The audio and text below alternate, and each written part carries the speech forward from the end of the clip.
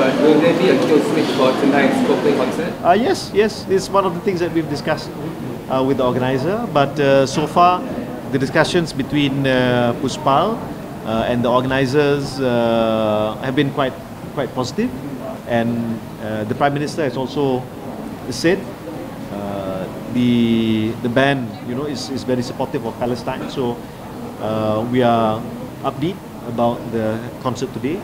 Uh, if there's if there's one thing I would advise to all who are going, please uh, try to use public transport.